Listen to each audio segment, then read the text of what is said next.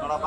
ಅಣ್ಣ ಸೀನಣ್ಣ ನೋಡು ನಿನ್ ತೊಂದ್ರೆ ರೋಜಾಪುರ್ ಏನು ಪ್ರಾಬ್ಲಮ್ ಇಲ್ಲ ಏನು ಪ್ರಾಬ್ಲಮ್ ಹಾಂ ಜಗಣ ಜಗಣ ಜಗಣ.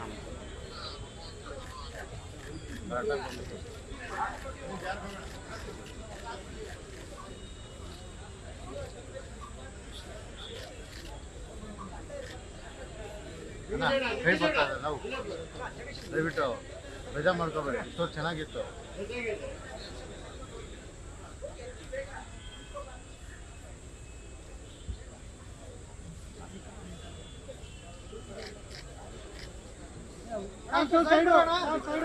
ಸುಬಣ್ಣ